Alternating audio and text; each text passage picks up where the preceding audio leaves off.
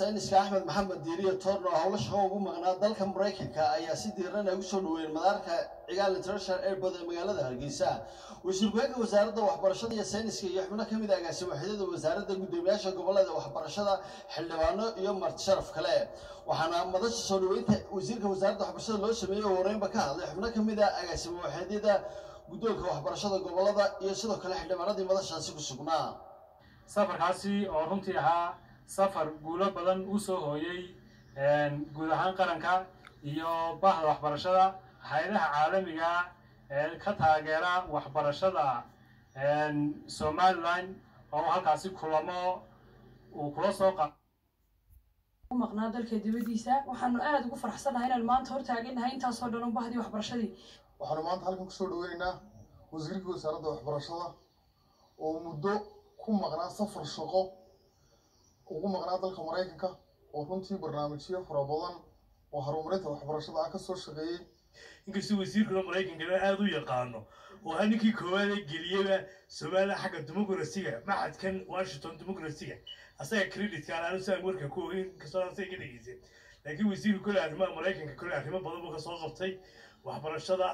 uu soo kordhiyey. Wasiir ku-xigeenka wasaaradda waxbarashada iyo saxinka doctor cabdixakiin siciid bustaale ayaa ka warramay howlaha shaqe ee wasiirku ku maqnaa isagoo sheegay inay si diiran wasaaradahan u soo dhaweynayaan islamarkaasina ay ku bogaadinayaan wasiirka shaqadaasi uu soo qabtay. Madaarka cigaal international airport wasiirka wasaaradda waxbarashada iyo sayniska oo safar shaqo aada u ballaaran dalka dibaddiisa ugu maqnaa isagoo runtii intaa u maqnaa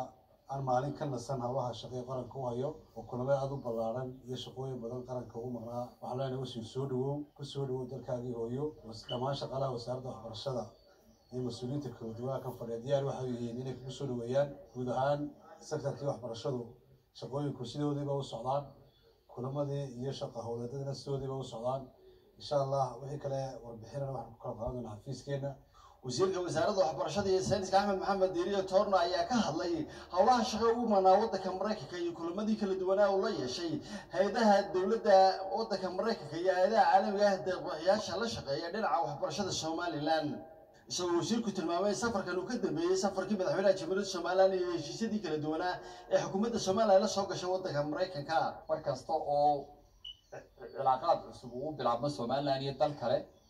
oo inta badan marka madaxweynuhu waddamada booqda heshiisya ay soo saxeedaan. Wasaaradda waxbarashadu waxay ka waxay halkaa ka sii aba waxaa ka mid ahaa wasaaradda arrimaha dibadda hoggaanka u qaabilsan arrimaha africa isla wasaaradda waxbar wasaaradda arrimaha dibadda hoggaanka u qaabilsan waxbarashada caalamiga ah iyo xafiiska qaabilsan arrimaha somaliland iyo soomaaliya. Waxa kaloo oo aanu kuna wax ku oola la galay iyagana hay'adda dalka maraykanka u qaabilsan caawada dibadda ee magaceeda marka la soo gaabiyo la dhahdo u s aid waxaa kaloo aanu la galnay sanduuq ay dowladda maraykanku ay u samaysay horumarinta africa oo la yidhaahdo african development fund. Waxaanu kaloo la soo shirnay madaxda sare ee global partnership for education ama g b e ga oo ah mashruuca lacagta ugu badan ee somaliland ku caawiya. Waa jacfar axmed badan marwaa shurub telefishin